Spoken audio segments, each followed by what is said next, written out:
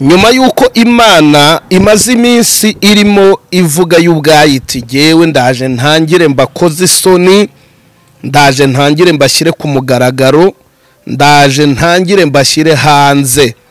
Mwese mwebwe mugenda mwihishahisha inyuma y'ijambo ryanjye hanyuma mwarangiza mukambeshyera. Hmm, mukajya kwesikoroka abandi mukajya kwihereza ibintu by'abandi ati ndi uwiteka nzanye umweyo ndaje nkubure. Ngitangira kuvuga ntya. Hita wumva ko byatangiye gusohora. Kandi ntabwo ari uko byatangiye uyu munsi.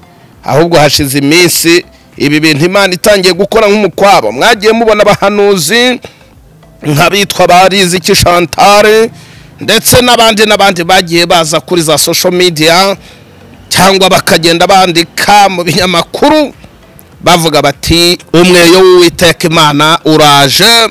Ati kandi ugiye gukubura. Utangiye kuvuga utari ko sha utangiye noneho kutuzanira ibiki wa mugabo we reka ntangire nsoma uyu mutwe w'iyi nkuru wumve. Umushumba wa zerafati hori cace n'umugore we batawe muri yombi. Iyi ni inkuru imaze umwanya muto cyane. Amasaha make ageze nko kuri abiri gusa. Yanditswe ku gitangazamakuru igihe doti komu nzajya mbabwira aho aya makuru mba nayakuye kugira ngo muri komenti zanyu ntimukantuke ahubwo mujye munyarukiraho namwe mwirebera reka twinjire neza mu nkuru mwumve. Umushumba w'itorero zerafati hori cace bishopu harerimana jean bosco n'umugore we mukansengi yumva jeanne batawe muri yombi bakurikiranyweho ibyaha birimo kwihesha ikintu cy'undi. N'icyo gukangisha gusebanya hifashishijwe amafoto y'urukozasoni. Ariko mwokabyara mwebwe uko mubyumva ko ari byo bintu nzajya mbabaza. Ni gute umuntu yitwa umukozi w'imana? Ni gute umuntu yitwa umushumba? Noneho byongeyeho ngo bishopu yarangiza akajya no gukangisha. Abantu ababwira ati ngewe sha nashyira hanze amafoto y'urukozasoni yawe sha. Ubundi ibyo bintu bishoboka bite mwoka byaramwe? Reka nkomeze mbasomera aya makuru. Ni amakuru twahamirijwe n'umuvugizi w'urwego rw'igihugu rw'ubugenzacyaha ribu dogita murangira bitiyeri wavuze ko uyu mugabo n'umugore we batawe muri yombi ku itariki icyenda z'ukwezi kwa cumi bibiri na makumyabiri na kane bivuze ngo ni umunsi w'ejo washize. Dogita murangira tsiyeri umuvugizi wa ribu yagize ati ni byo koko aba bombi batawe muri yombi bakurikiranyweho icyaha cyo kwihesha ikintu cy'undi hakoreshejwe uburiganya. N'icyo gukangisha gusebanya hakoreshejwe amafoto y'urukozasoni. Bakaba bafungiye kuri sitesheni ya ribu ya kimihurura mu gihe iperereza rikomeje hanakorwa dosiye ngo ishyikirizwe ubushinjacyaha. Aha nyamara bya bintu birakomeye na kwambiye amakuru ahari avuga ko iperereza ry'ibanze ryagaragaje ko umwe mu bantu basengeraga muri zerafati hori cace ari we watanze ikirego arega umuyobozi waryo ko yamusabye miliyoni icumi amwizeza kumusengera indwara yari amaranye igihe kirekire igakira.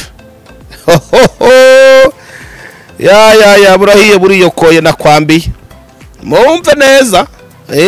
Mwumve neza. Ati aya makuru yatanzwe n'umwe mu bantu basengeraga cyangwa se basanzwe basengera kuri uyu bishopu wa zerafati hori caci ubwe yagiye kwibwirira ribu namwe mwuka byaramwe mu byumve yitangira ikirego. K'uyu mugabo harerimana jean bosco yamwatse miliyoni icumi amwizeza yuko azamusengera ibitangaza bigakoreka mu izina rye.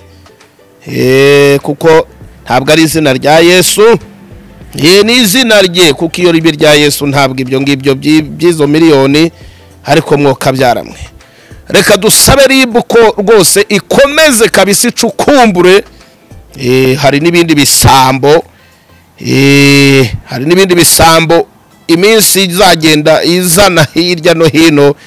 Eh, icukumbura rwose ivundurura iyo ngiyo bikagenda bigaragara.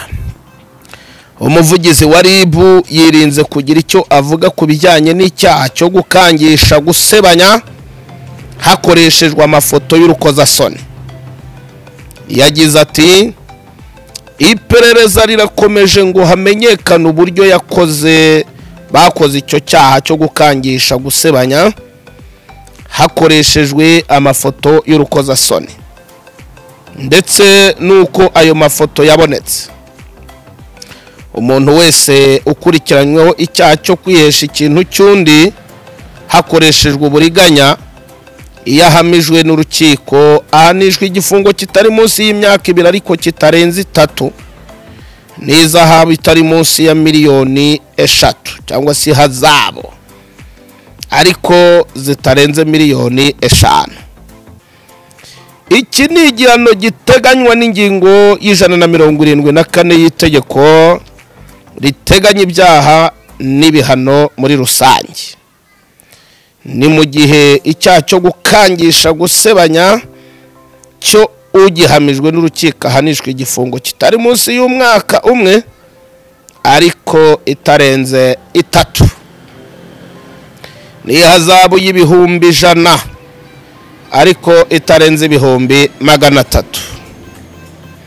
Umuvugizi w'urwego rw'ubugenzacyaha ribu dr. Murangira thierry yasabye abantu bose kugendera kure ibikorwa byose biganisha mu gukora ibyaha. Ati buri muntu wese asabwa kubahiriza amategeko y'igihugu ku buryo bw'umwihariko abavugabutumwa barasabwa kwirinda ibintu byose biganisha ku gukora ibyaha n'ibindi bikorwa byose bigayisha umurimo bakora. Ntibabe mu by'ukuri ariko mwuka byaramo inkundamugayo ahubwo babe intangarugero mu byo bakora. Ya baba baba baba cyakoze imana iturengere n'impamo ya muhungu. Namwe mubyumve mwuka byaramwe. Mubyumve ibi bintu rwose birakomeye. Reka ngo usabe ariko wowe niba ushaka mu by'ukuri kwikurikiranira aya makuru unyarukire ku gihe ku kinyamakuru cyangwa se ku gitangazamakuru cyitwa igihe doti komu hanyuma nawe wirebera ayo makuru mutazajya muvuga ngo ndabapfunyikira ngo mbagezaho ibicupuri. Ibi bintu biteye ubwoba nyaboneka ibi bintu nyamuneka birakomeye cyane. Abavugabutumwa abapasitori bagiye batandukanye bakomeje kudusebya. No gusebya izina ry'uwiteka imana. Ibi bintu nyaboneka namwe mubyumve. Mwumve uburyo ari ibintu bibabaje cyane rwose mwuka byaramwe niba bigezaho umushumba rwose bishopu nyaboneka. Ye baba we ye baba we bamufatana n'umugore we bakavuga bati muze hano mube murimo murasobanura neza uburyo mwatinyuka kwaka umuntu miliyoni icumi zose. Aba ari aho ntibanaka makeya mwuka byaramo reka tuvuge yuko wenda icyaha gishobora kutazabahama. Dukurikije icyo umuvugizi wa ribu yatangaje yavuze. Ariko nanone tuvuge ngo iki cyaha kiramutse kibahamye. Ibi bintu byaba ari agahomamunwa pe. Izina ry'imana ryaba rikomeje gutukwa mu by'ukuri kubera ibi bintu by'ubutubuzi n'ubutekamutwe. Ubundi yesu ubwe yaravuze ati niba uherewe ubuntu nawe jya utangira ubundi. Birashoboka yuko rwose umuntu ashobora kugushimira akaba yatanga ituro ry'ishimwe rwose nk'umuntu wasenze kandi ariko nabwo nanone akaritangishwa n'uko mu by'ukuri imana yakoze igitangaza. Kubera ko imana itagaragara mu buryo bw'abantu hakaba yagenda agafata nk'ituro ribyibushye rwose akarikuzanira agashima imana akavuga ati imana sinyireba ariko ni wowe ndeba kandi waransengeye igitangaza cyarakoretse. None nyaboneka nawe ryaho wumva uvonyoreho wumve. None mu by'ukuri uyu mwanya ati mpereza miliyoni icumi yewe ndaza kugukoraho ryake. Igitangaza kiraza gukoreka indwara iraza gukira.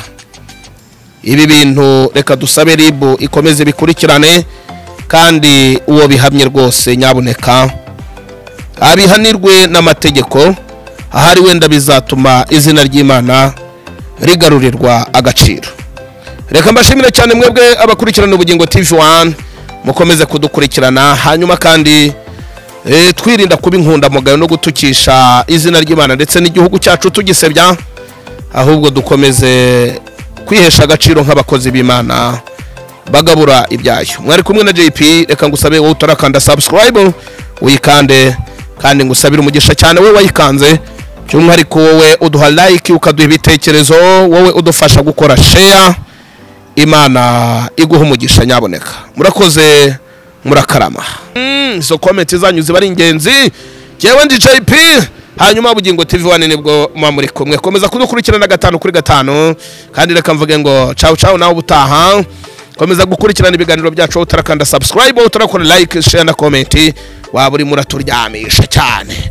Reka ngushimire cyane. Ndakwemera cyane muvandimwe. Eh, comment yawe uko yaza imeze kose mu by'ukuri iba ari ingenzi. Urakoze cyane.